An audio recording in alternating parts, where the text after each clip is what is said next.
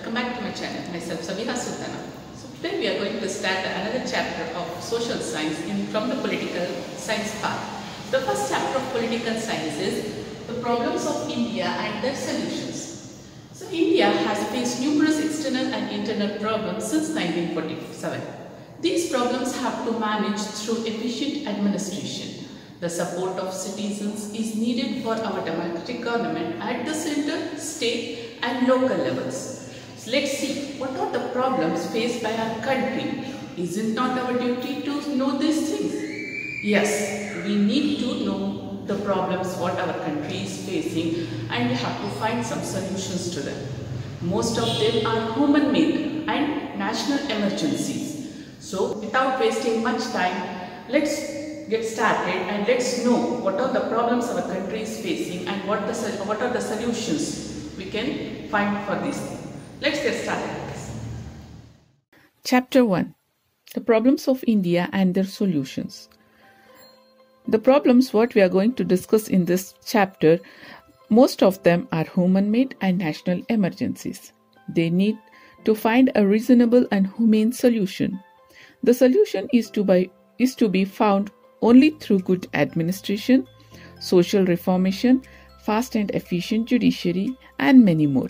Moreover, to that, the solution needs to be backed by people's support. So, let us know what all the problems our country is facing. So, the content of this chapter is unemployment, corruption, discrimination, communalism, status of women, terrorism, and corporate strategies. So, these are all the problems we are going to discuss in this chapter. So, let us discuss all the problems one after another in detail. Very first is the unemployment. Unemployment is a situation where a people does not find work in accordance to his capacity or qualification. India has a huge population and unemployment is a big problem. Usually, the population and improved technology are considered as the two reasons of unemployment. Apart from these two, shortage of natural resources, over dependency of agriculture, ruined cottage industries, and lack of skill based educational unemployment has become a huge problem.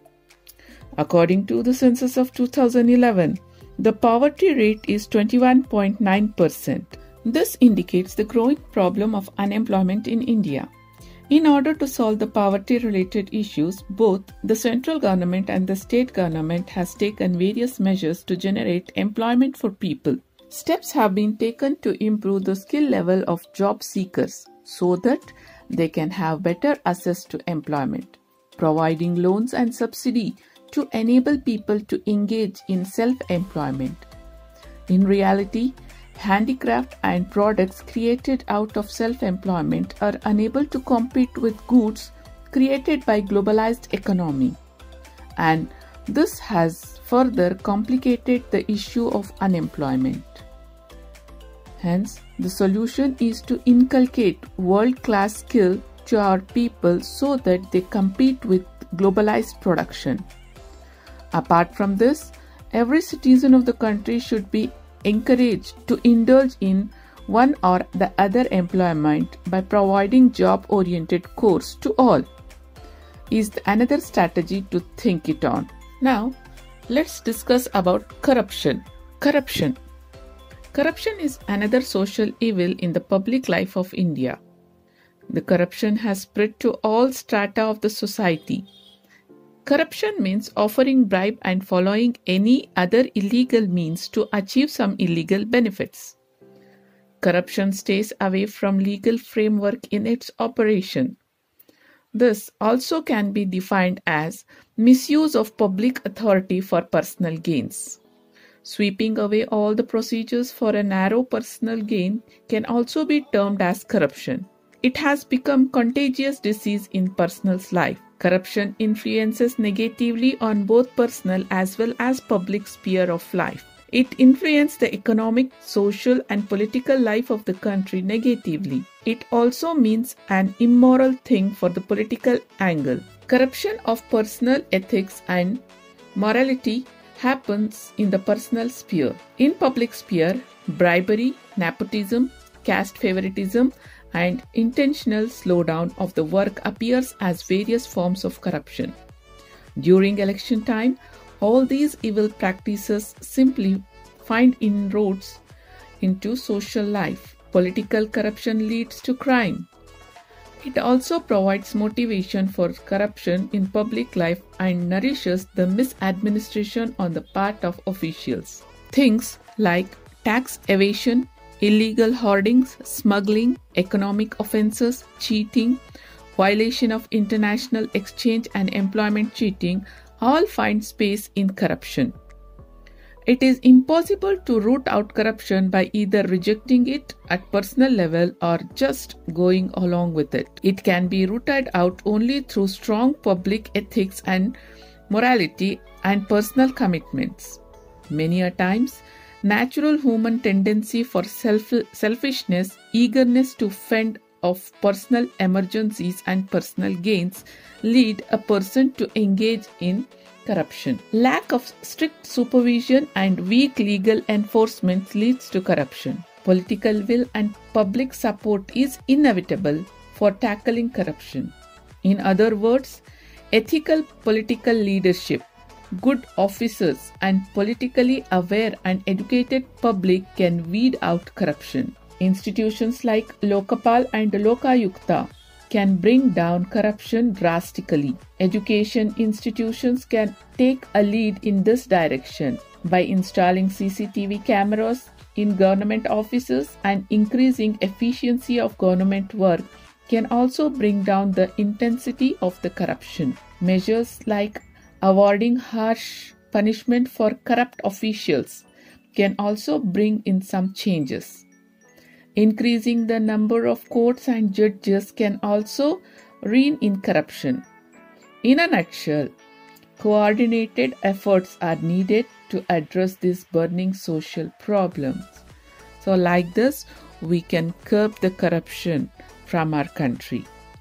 Now, let's discuss about discrimination.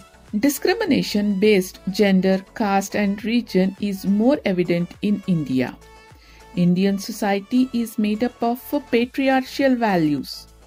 It discriminates the role of women and man according to the patriarchal values. Hence, inequality are there between men and women in our society. Government of India has undertaken various measures like providing reservation in education and employment along with providing reservation in elections of local bodies to overcome this gender discrimination. It has reserved one third of the seats in local elections, means 33% of the total seats in the election. But in Karnataka, 50% of reservation have been given to women in local body elections. With these measures, efforts are on to end the discrimination prevalent between genders. Just like gender discrimination, caste based discrimination is also a challenge to India. Caste system is a gift to Indian political system from the ancient societal system based on Varna. Many measures have been undertaken in the constitution itself to prevent caste based discrimination. The right for equality and freedom has been included in the section 3 of our Indian constitution. But the caste system has continued to live even after these efforts. This cannot be solved only with the legal interventions. In order to eradicate this system, the society also needs to prepare itself to accept the changes. Regional inequality is like gender and caste inequality and has posed a big challenge to India. Some regions of our country has achieved a lot of progress while many parts have remained backward. In order to remove such inequalities, the Article 371 has been amended from A to J. Through these amendments, backward regions have been given special status. In spite of all these measures, the regional inequalities problem has grown to such an extent that many are demanding independent state status for themselves. In the light of these developments, there is an urgent need to eradicate regional imbalance of the country as early as possible. In Karnataka, in order to address the regional imbalances, a committee headed by DM Nanjundappa has given special report on various measures needed to solve the regional imbalance in 2001. Some of the most backward regions of Karnataka have been accorded special status by adding Article 371J. So, like this, we can come out of this problem that is discrimination, which we can see in the different categories that is, in gender, caste, and even in the region. So, these problems can be solved through certain steps, just what we have discussed here. Now, let's know about communalism. Communalism is a major problem in our country. Segregation in the name of religion and creating hatred and cultivating opposite self interest can be called as communalism. It creates social differences, mutual suspicion, and fear situation in the society. Political competition, social groupism, and economic hatefulness is expressed in communalism. Communalism has the capacity to endanger the integrity and unity of India. It not only disturbs the peace of the society, it also destroys the public and private property. It leads to mutual accusations and physical assaults and other undesirable effects. Communalism puts self interest ahead of national interest. The communal forces make attempts to increase their communal forces in the country. They attempt to preach their religion and also tend to be su- suspicious of other religion. This affects the unity of the nation. As a result, the country has to spend a lot of energy to maintain internal peace and order. A lot of precautions are needed to address the challenge posed by communalism. Ideas like uniform civil code, equality among all the citizens, supporting secular values in the society, and transcending narrow thoughts in favor of national interest can be the solution for communalism. Economic and social inequality could fuel the communalism. Attempts should be made to foster the faith of all people and develop healthy national thoughts. Precautions should be taken to check communalism as it would spoil the integrity equality, fraternity, and cultural diversity of India. Citizens should commit themselves for the secular society. With this, we can curb the communalism, which is against our unique feature of a country that is unity in diversity. Now, let's talk about the status of women. The achievement of women during pre-independent India are notable. Jhansi Rani Lakshmi Bai, Kittur Rani Chennamma, Annie Besant, Kasturba Gandhi, Savitribai Phule, Sarojini Naidu are some of the memorable women freedom fighters. Now, women are present in all walks of life like medical, teaching, engineering, pilot, astronaut, police, politics, military, and other areas. But still, the status of women needs a lot of improvement. The status of women has remained low due to social customs, poverty, and illiteracy. This has affected the progress of the country. The government has started Women and Child Development Department in order to develop women's education and status. Through various measures taken, the government seeks to improve the status, health, and education of the women. Many programs have been implemented to curb child marriage, Dowry Prohibition Act, compulsory education are implemented as a means of empowering women. The government of Karnataka has implemented Stri Shakti program through which self-help groups of women are formed and fostered as the means of social progress. Various cooperative formations like Stri Shakti self-help groups, associations of self-help group have been formed. Women's Commission have been established at national and state level to address the various issues of women.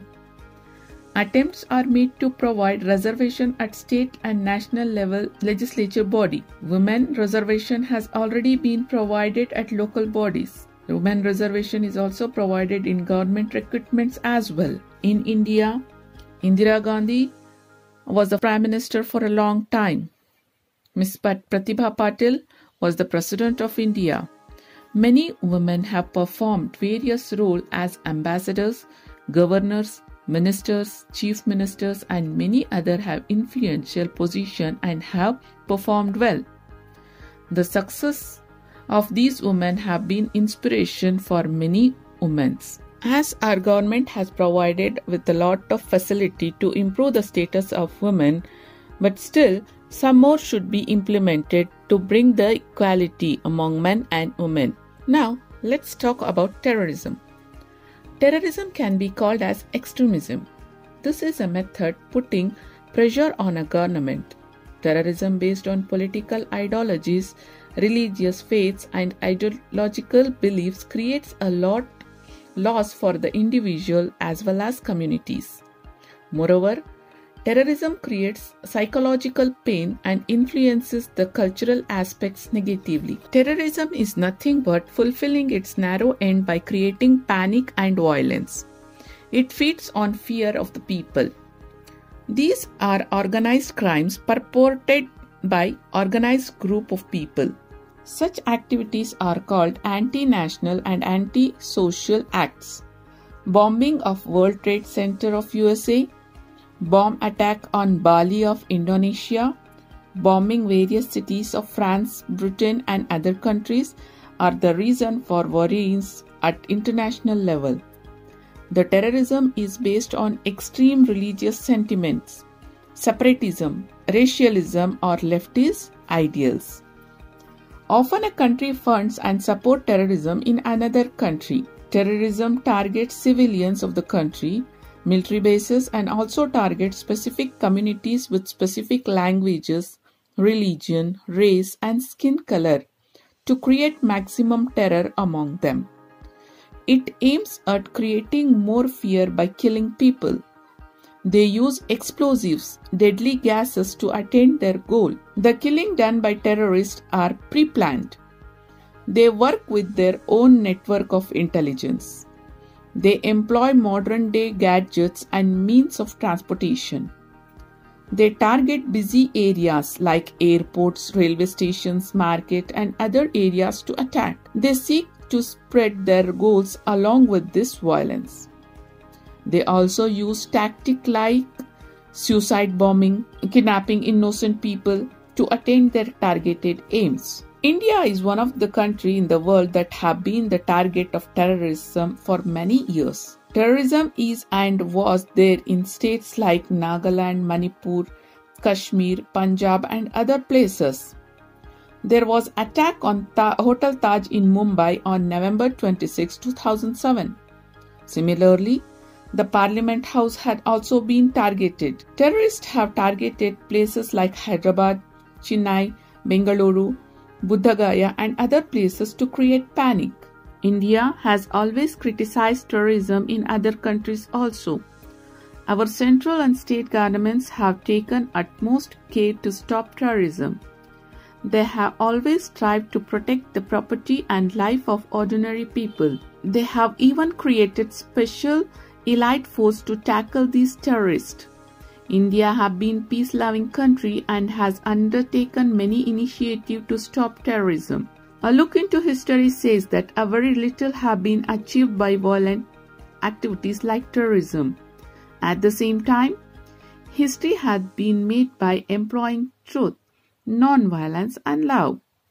The killing of people like Gandhiji, Indira Gandhi and Rajiv Gandhi did not erase their efforts to achieve progress through peace whereas actions of Buddha, Mahavira, Jesus, Muhammad Paighambar, Basavanna, Gandhiji, Nehru, Ambedkar, Martin Luther, Nelson Mandela and others have given new light, new path and new life to the people all over the world. Peace and love are greater than violence and hate, they taught. So, with these things, with the teachings of these great reformers, we can curb the terrorism. And India, as a peace loving country, is uh, supporting UNO to come out of this problem, the world problem. So, the next is the Corporate strategy. The corporate strategies have been the biggest challenge in front of Indian society since the beginning of 21st century. A group administrative measures undertaken by a company to achieve a premeditated target is called corporate strategy. The present day corporate strategies are using globalized environment and modern technologies. The main aim of these strategies are maximizing the profit of the company. This affects the people, the society, and the country negatively. Often, the corporate strategy influences the decisions of the governments also.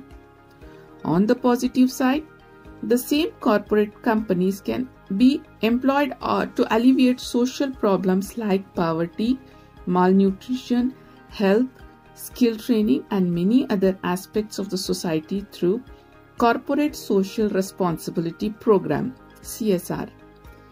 The government need to mandate such initiatives through appropriate legal measures. Only with such initiatives, the Indian society can channelize the corporate strategy in favor of the society.